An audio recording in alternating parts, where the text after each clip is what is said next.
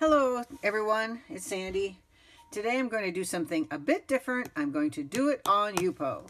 Um, a different way to watercolor, yes indeed. Uh, if you haven't tried Yupo before, it is a, uh, it's 100% polypropylene. This is very smooth finish. This is what I do my alcohol inks on and uh, I'm going to do something a little different with it than I normally do. Put that away here. So I've got a, one sheet here, and this is extremely smooth. It's basically plastic. It's not paper at all.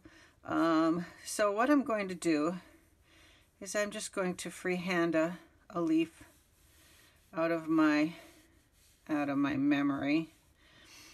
Um, not looking at anything here.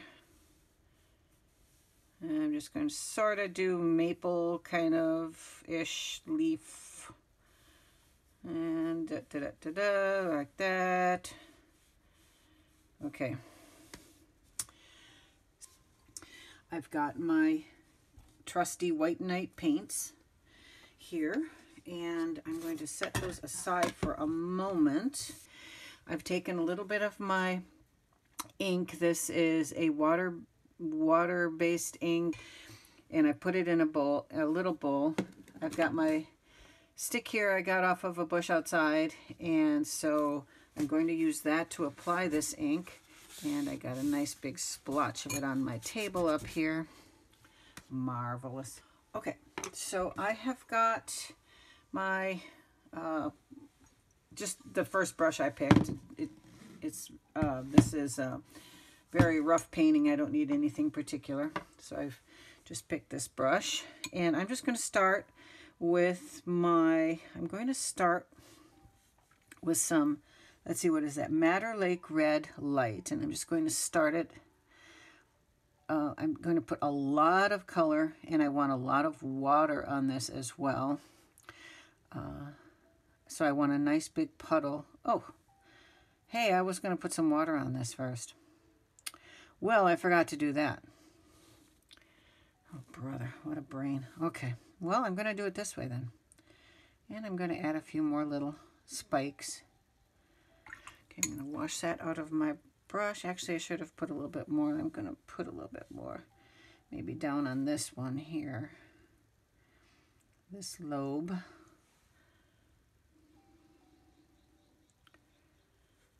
I wiped my paper and I kind of can't see my lines anymore. So main thing, if you, you want to grab some Yupo paper, pause this video and go grab it. Grab your paints, the most colorful uh, you can find, or maybe you might, might want it really subtle. So grab what you want, paint along with me. This is just a fun Sunday morning thing to do. All right, there I got enough of that. Now I'm going to go with one of my golden colors. This is the golden light I'm going to be putting on here. And I'm, I'm just, uh, let's see, I think what I'm going to do is some places I'm going to put it together, some places not. Oh, that's a really run in there. Okay, I'm going to have to keep it apart a little bit. I put a lot. Oh, hey, you. Okay. Wow, that color wants to just be everywhere. Okay. You. Let's see. Maybe I'll take Titian Red, which is a really nice autumny color.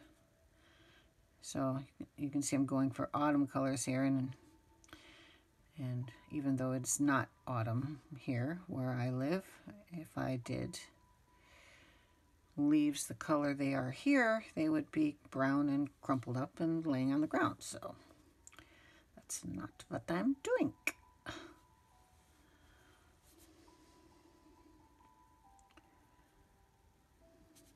Okay. So if you're painting along with me, just just sit and put colors on to your heart's content. It doesn't matter if they mix uh, mix some, but if you let them mix too much, you aren't going to have the swirls of color that I'm, I'm hoping I get at the end of this. I hope that I, these colors will swirl so I don't, they'll swirl together, but not necessarily mix so much. That's what I'm hoping for. If you go to my website, sandrajschultz.com, and you look at actually I don't know if I have this picture on there but I've got a picture. It's on my Etsy shop Sandra J. Schultz Studio on Etsy and it's entitled October. And I did that painting this way so you can see a a result what should I put on here? Let's see. Um, uh, I think I'll go with some carmine or down here. That's a nice color. I like carmine. But then uh, there again, I'm just kind of going for a really lot of color. And if you haven't used Yupo paper before, you um, and if you don't have any, it is a polypropylene paper, as I said before, and it is, uh, well, it's like plastic paper, so the ink, uh, the ink, the co color does not soak in at all. It will, you have to wait until this air dries. There will be no help um, with the paper will not assist you by sucking up the moisture and getting it out of your way. So it's just going to sit here. So this is probably going to take me a while to finish this video because I'm going to have to sit and wait for it to dry. And if I blow dry it, it will move this this paint. It will move it and it will change the way this whole thing looks. So I cannot do that. So, okay, now I'm going to I, I'm going to do something really fun. I've tried uh, two of the White Nights' metallics. I have Silver Light and I have Inca Gold, and I really like them. They are so fun to use. They're they're bold. They are have a lot of gold in them, eh, or silver, and uh, I've used them on some paintings. The silver more than the gold, um, just because I've that's what has matched the paintings a little bit more. But isn't that isn't that just I don't know if you can really see what that what this is looking like, but I really like these colors. So if you if you have white nights, if you've got some room for a couple more colors, I would say add a couple of these to your to your box. I think that you might be really happy with that. I love this gold. It's so pretty. Really pretty.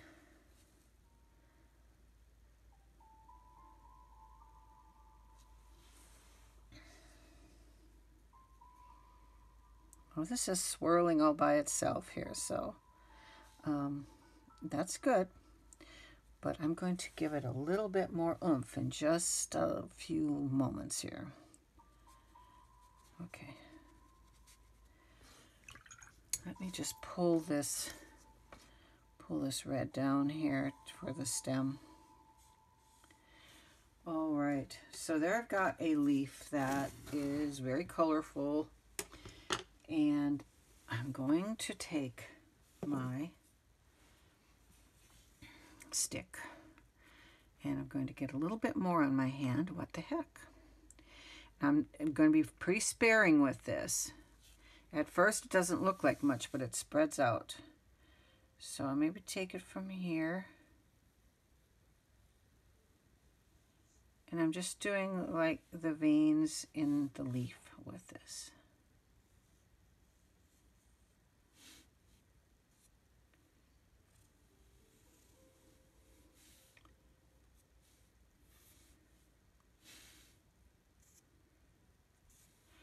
Okay, now that's not very much, but it's enough. And so what's going to happen here is it's going to start to mix and blend and move with the colors. And so it's going to take quite some time to do that.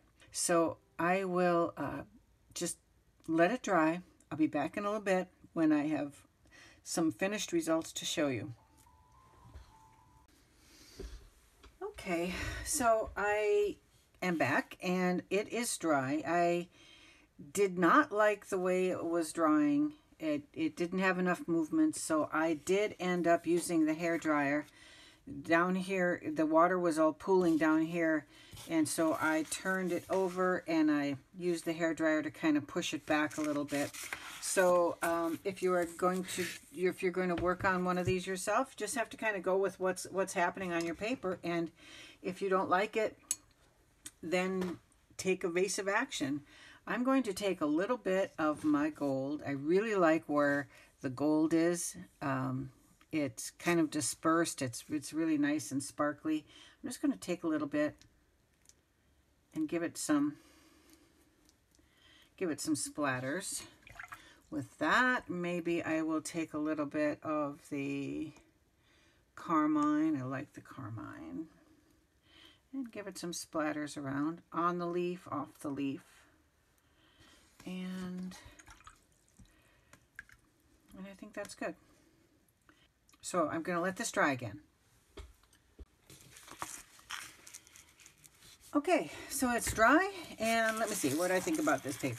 Well, um, I would say that I have done this a, a, number of times. Not a whole lot. I don't paint like this a lot, but I've done it a number of times. And, and as far as like comparing the results, um, this one is maybe not so much one of the one of my favorites, but you know you can see how the process is. Uh, you aren't going to be able to be in control of what happens so much. So, um, but the good thing about it is if I take this paper over to the sink and I run water on it because I didn't like it, if I didn't like it, um, I could wipe almost all of the color off of this and start over again.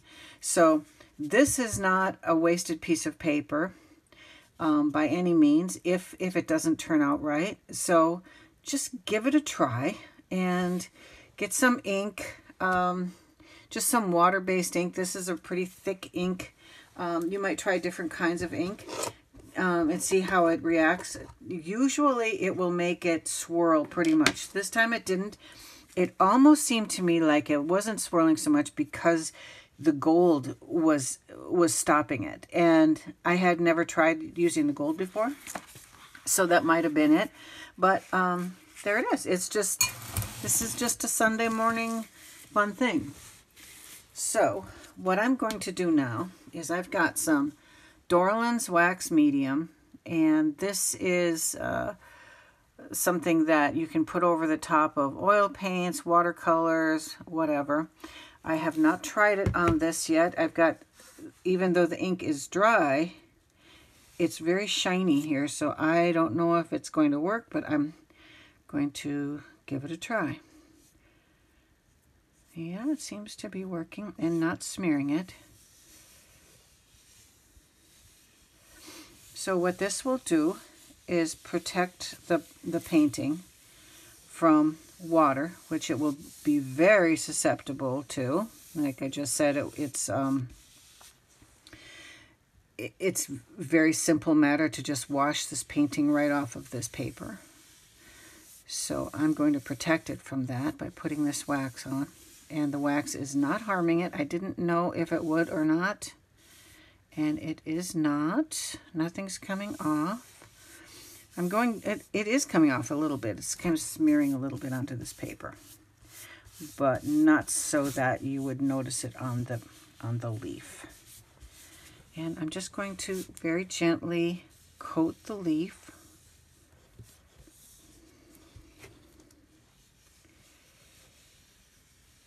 And this not only protects it, but it, it gives it back some of the life that it loses. Watercolor loses some of, some of its life when it dries.